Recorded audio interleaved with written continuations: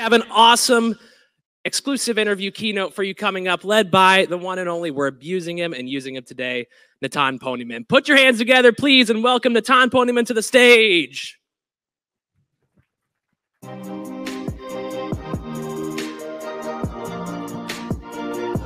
Hello, everyone. I'm Doug. Please come join us. We're both in this together, so we can just, yeah. So, we have an interview with Cybin and Doug Drysdale, who's the CEO. But if you want to introduce yourself first.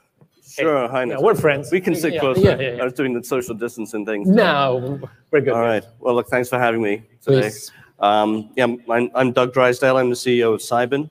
Uh, my background is I've been in healthcare for a little over 30 years, and uh, the last 50% of that as the CEO of four different pharmaceutical companies. Uh, I joined Cybin in the summer of 2020, uh, right, right in the run-up to us going public, and uh, the team has grown enormously. So what we're doing at Cybin is we're developing, we're engineering psychedelic molecules into prescription therapeutics for depression, anxiety disorders, and addictions.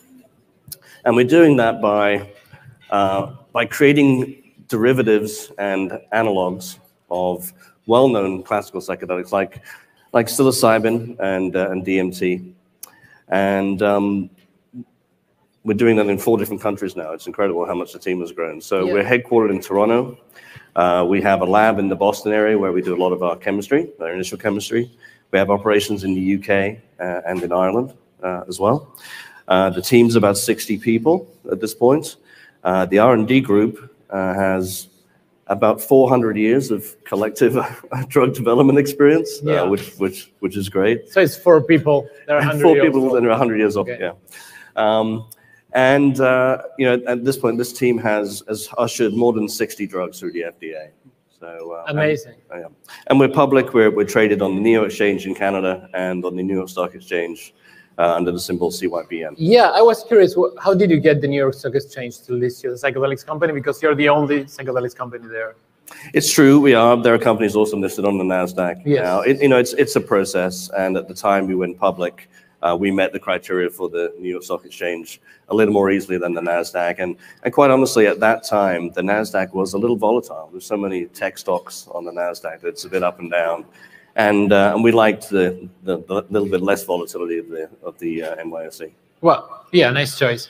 Okay, so there are a lot of psych. Well, there are some psychedelic compounds that have had you know decades, decades of uh, you know research, proven efficacy, or at least not in the eyes of the FDA yet, but but you know anecdotally and, and for a lot of sciences they have proven efficacy. And these are the classic psychedelics. You know your LSD, psilocybin, DMT, mescaline. So why is it that you're investing so much effort and capital into researching second class or second generation psychedelics rather than you know just the the first second generation, first class, hopefully. Yeah. Um, yeah, look, I mean, you're, you're right. You're exactly right. That we have decades of information and knowledge about classical psychedelics. We know about the chemistry, their metabolism, their toxicology. We know how they behave. Um, so we're seeing lots of evidence of, of, of efficacy, uh, but there are also limitations. Now, most people here probably know that psilocybin is very long acting. yes So six or eight hours for a treatment session. Uh, maybe it takes 90 minutes to get to peak effect. That's a long time. in- orally right yeah, or orally. Yeah, Yeah. yeah. So that's uh, that's a really long time to be in a clinical clinical setting, uh, and then, and that's fairly obvious. But what a lot of people may not know is that psilocybin is also highly variable. Uh, it's a prodrug, right? So it's Right. not active itself. It's converted to psilocin in the body. yes And that metabolism from psilocybin to psilocin uh, varies enormously. Um, you might have a mild effect. I might have a very profound effect. So that, that has to do with how each individual metabolizes the the prodrug into, into exactly. Our, our liver mechanisms are, are, are individual Yeah. and, and they're different. So that means that the, the, the responses are quite unpredictable. And in a clinical setting, that's not a, not a good thing. Um, that could have implications on efficacy and it can have implications on, on safety. Uh, you know, we've seen in, in uh, really quite enormous variability when we look at these psilocybin in, in animal models. So If you could create a drug that was uh, faster onset, shorter in duration, a little more, more manageable, and less variable, more, more predictable, then we think that's worth uh, worth investing in. Yeah, yeah, yeah. I mean, and the market is going to decide on its own. I mean, if you have something that is better, that just works better, has improved therapeutic profile and less side effects, um, and it's at, at, a similar price point or is covered by insurance, it's just a no-brainer. So, and and that's a good point. I mean. Uh, people forget about insurance and reimbursement, uh, and that's a big part of patient access. If you have very, very long treatment sessions or you have excessive amounts of psychotherapy and you're adding all these system costs to the treatment, then that makes you know, reimbursement a little harder. So something that is shorter, more manageable, uh, better for patient turnaround within, frankly, these clinics are businesses, aren't they? Uh, so they've got, they've got a turnover patients. Just, uh, it just helps these treatments become more scalable. Yeah. yeah, exactly. So how does your pipeline look like? What were the main, you know, flagship drugs that you're developing, uh, if you want to tell us about those. Sure. So uh, two main ones are CYB3 and CYB4, really catchy names. Yes. CYB3 is a deuterated analog of psilocybin. Uh, we've uh, we published some preclinical data last November, and uh, what we saw with CYB3 is that the onset of effect uh, is about twice as fast. So in our in our preclinical models, the on, the peak effect is at about 30 minutes, and it's oral. And, and then the duration looks to be in the two and a half to three hour range. Uh, of course, again, in, the, in, these preclinical models. We also saw, though, really importantly, is that at the peak times for psilocybin, so at that one to two hour time point, um, CYB3 was 80% less variable. So we saw these really big ranges of data for, for psilocybin and very tight data points for, for CYB3. Mm. Um, the other benefit of deuteration as well is that it helps. Can you, sorry, can you explain what it means to have a compound deuterated? Sure, sure. So deuteration. The, yeah, I'm talking like everybody knows what I'm talking about. Yeah. Um, deuteration is the uh, the process of substituting hydrogen atoms on the molecule uh, with deuterium, which is heavy hydrogen. And that has the effect of a few things, actually. It helps slow the breakdown of the molecule, but it also improves brain penetration and improves bioavailability as well. So uh, with, with CYB3, we saw a significant, a significant increase in brain penetration. And that's what you want. So it's more efficient, this molecule, at getting to the site of action. Mm. And so that might mean that we may see uh, psychedelic benefits, psychedelic effects at lower doses. Uh, so the same effect at lower doses. And lower doses could mean reduced side effects. Uh, about 30% of people experience nausea and headaches, transient headaches with, with psilocybin. The nausea can be pretty unpleasant, yeah. right? And, uh, and so if you can remove some of those risks as well, then you're impro improving the patient experience. Yeah, and also if you have like a shorter duration of treatment, that makes it more easily available for people yeah. who maybe can't afford like to have a therapist and a psychiatrist and a nurse throughout a whole day. You know, just make it shorter. It's easier for people to access exactly, it. Exactly, And we're taking this uh, this molecule CYB3 into the clinic uh, this year. We're we're in the process of putting our IND together for the FDA right now. So uh, we'll file our IND this quarter. And we'll start a study in major depressive disorder around mid-year. Uh, and we'll be looking. Interestingly, we're going to be looking at the effects of one dose or two doses. Okay. And I don't think that's been done before in a larger study. And uh, the reason for that is when we go back and look at some of the most impressive academic studies out of Johns Hopkins and NYU, um, they, the ones with the greatest effect sizes and the greatest durability use more than one, one dose. So in our study, patients will receive either placebo or CYB3 at the outset. We'll measure their response and remission at week three.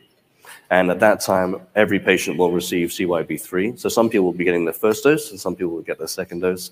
And at week six, we'll see we'll be tracking again response and remission, looking at the difference between one or two doses. You know, in our mind, the real paradigm shift with psychedelics is not just the efficacy; it's about that durable effect. And right. if we can maximize the dosing regimen to get a maximal duration of effect, then I think you've got a treatment that's you know, very not only very uh, attractive but also very cost effective uh, as well. So, so how does your timeline look like in terms of you know your IND meeting and then your first phase one? Yeah, so we will. We're moving straight into patients. So we'll file the IND this uh, this quarter. We'll start around mid-year, uh, getting the study up and running. We should have some interim uh, PK and safety data by year-end, and and the study will read out uh, in early 2023. Great. And what does your IP uh, look like? Like your your molding strategy uh, around this molecule? Yes. uh, So we filed. We have three families of patents that we've been filing, um, adding to the tryptamine family of patents, which is covers DMT and and psilocybin. Uh, We've got a a number of patents around our phenethylamine programs, uh, a number of patents we filed also around uh, delivery mechanisms like inhalation, uh, which uh, which brings me to CYB4, which is Yes. our our other molecule. Uh, And that's one for that molecule, CYB4, which is deuterated DMT we were just issued a composition of matter patent uh, in February for that molecule. Uh, so that's the first one that's been issued, and we expect others to, to issue over the course of this year. Great. So do you want to tell us more about uh, CYB4 and you know what are the benefits there uh, compared to DMT? Yeah, CYB4 is very interesting. Uh, so it's a deuterated version of DMT. Now, DMT, as you know, if you dose DMT uh, either nasally or inject it, uh, it's a very rapid onset. Yeah. um, patients are in essentially another realm within seconds. It's very fast, quite aggressive, and Yeah. can cause anxiety, can cause some people to be disoriented. Um, it's also a very short experience, six to 10 minutes if given that way. And our view, again, coming back to durability of, of effect, our view is that perhaps that's a little short to get a really robust deuteration. Nobody wants to come back and have a DMT experience every week No. right? So let's let's not do that. Um, and so by using the duration to slow the breakdown of DMT in the body, we've extended out CYB4 to about 30 minutes. That's what it looks like in our preclinical models. So that means that a patient can be in the clinic, uh, fully recovered, and back out again within an hour, which uh, we think is very scalable Yeah. and very attractive. We've also combined uh, the molecule with an inhalation platform. Uh, it's a nebulizer platform uh, because you can't take DMT uh, orally. And uh, we've shown that that is very controllable. So we may be able to smooth that onset of effect so it's not quite so aggressive.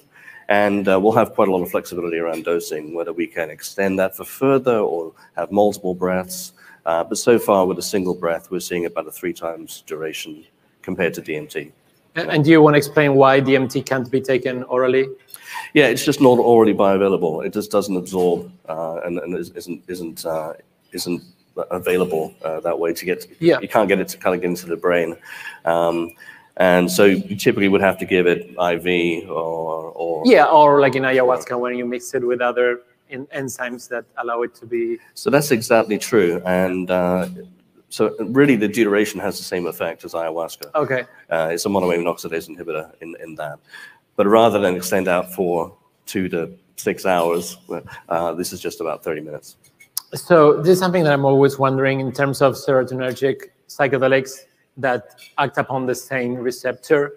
Um, aside from the duration of effect, what other effects are you finding? Like if you have a shorter version of psilocybin and a longer version of DMT, how will they be specifically different? Is that something that we know or not? not? Yeah, I, I don't think it's some, th- something that we know yet. Um, and part of the reason that we're developing a portfolio of products is that people react to these treatments differently. Right. Uh, mental health disorders differ between individuals. It's hard to draw hard lines between some of these mental health conditions. And there's a lot of comorbidity. So, plenty of patients that have anxiety, you know, about 80% of them, also have depression. And so, a portfolio of treatments, in our view, um, will enable a physician to tailor the treatment to, to the patient. And we'll learn more about those effects as we get through clinical studies. Wonderful. And you have a new compound that you've recently announced, or are you are you ready to speak about that? CYB05, or should we leave it for Yeah, we next could, interview? CYB5. Uh, it's so this is an interesting molecule. It's a phenethylamine, so it's in the same category as MDMA. Uh, it's a really broad category of molecules. So Yeah. this is more uh, tryptamine-like in its behavior. Um, this is interesting, but not for psychiatry disorders. Uh, so it looks like at quite low doses, so sub-psychedelic doses, it has anti-inflammatory benefit. Hmm. Um, so, so it could be useful in neuro neuroinflammation, which may impact uh, Parkinson's disease or Alzheimer's disease or MS. Uh, so that's that's a molecule that we're likely to partner uh, with another another company that's not focused on To develop. Yeah. And but this would this be taken at home or in the context of? I would think so, and Yeah. chronically most likely. right now, it looks like it looks like you could maybe dose it weekly or or, or, or once every couple of weeks as, as well. But but it would be not psychedelic, so likely at home. Yeah. Great. So going back to your psychedelic molecules, uh, th- there's a whole ecosystem of protocols, you know, that you need to use to apply these drugs in a safe environment. So you have some work into that. Do you want to tell us about, you know, the protocols that you've been working Yeah. on your molecules? So there's two other uh, investigator studies that we're doing that are, that are interesting. One is at the University of Washington uh, and uh, in Seattle, and we're running a study there in healthcare workers. It's, it's th- 30 healthcare workers uh, that we're studying that have burnout or depression, largely from this COVID environment for the last few years. And we're, we're studying psilocybin in, in that study, uh, but we're also combining it with our psychotherapy program, which is called Embark. And uh, the reason for that is to try to test and optimize what the psychological support should look like. When we go back and look at all of the psychedelic studies that have been performed, those that have used some form of psychotherapy or psychological support have better outcomes than those that do not.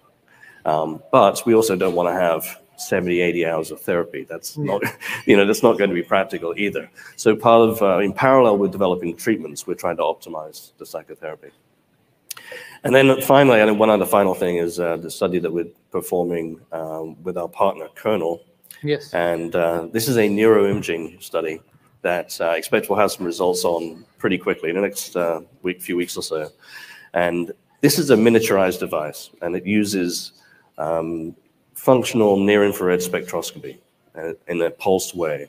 So this is technology that's been used quite commonly uh, to measure uh, hemodynamics, but this is a, in a much more powerful way, firing into the into the brain at about 200 times a second in a wearable helmet that looks a bit like a, a bicycle helmet. Yeah, yeah, yeah. It's amazing. It is kind of cool to look at. Innovative technology. Um, but what we're starting to see now is that we can we can detect neuroplasticity, and because it's um, uh, just a helmet and not a big fMRI machine, we can do that on a frequent basis. So I could have a patient put that on every day after their dosing in the study, and just see what the neuroplasticity looks like and how it declines over time. So when we come back to thinking about drug development, we may be able to tailor our, our drug development to make that neuroplasticity extend or use the technology to predict how durable an effect might be from, say, uh, psilocybin versus DMT. Uh, so we have some results, I think, coming in the next few weeks, which I think will be pretty interesting. Yeah, I think it's very interesting to use that device. I mean, if you think of a patient going through a psychedelic experience and trying to get that patient into an fMRI machine, that can feel pretty, you know, invasive. So if you just have a very non-invasive device that you can use, uh, 100, 110 decibels around your head in a metal tube while taking a psychedelic, I, not a good idea. I don't think it's a good idea. Good, wonderful. Okay, so any other developments from your from your company that we are looking we should look for in the next? No, I, th- I think we've got an exciting year coming up. Uh, it's fantastic to be moving CYB3 from the bench into the clinic. That a process has taken only about 18 months, which is Very fast. at least twice as fast as you would see in traditional big pharma. Um, and uh, to be moving into two human studies this year uh, and really starting to get some some data from I think the some of the first modified uh, mo- modified psychedelic molecules. And uh, I know we get asked all the time, why bother waiting for second gen rather than just go with first gen? But you know, frankly, you know, if we can do better and we can uh, get access to more patients over the longer term, then it's worth spending the extra time to optimize the treatment and the therapy around it, so that these treatments have the greatest chance of reimbursement. Because it's all about patient access at the end of the day. Yeah, exactly. So if you have to look at the company 10, 20 years from now, are you looking at an exit strategy? Wh- wh- What's your, your, your goal in the you know medium to long term? Yeah, I don't think anybody's looking to exit at this point. You know, drug development takes a long time. Uh, we're certainly looking at major milestones along the way uh, this year that will continue to create value for shareholders. And uh, obviously, at some point, looking to raise additional capital to move into phase three studies. Uh, Yeah. But but it is a fairly glacial process. uh, Yeah. drug, drug development. It's slow, and for anxious investors, it's yeah. It is. is slow. So so it's like patience, you know, long term mentality, and yeah, And and that's another reason why I think having a portfolio of assets is important. Uh, Right. De-risks, I think, in the investment, but also you're getting milestones and catalysts from each of those programs uh, throughout Exactly. throughout the year, not just waiting for for one. yeah, yeah. I'm getting the wheel moving. Yeah. Yeah. Well, Doug, thanks so much for your time. Thanks for having me. Thank you. Wonderful. Thanks.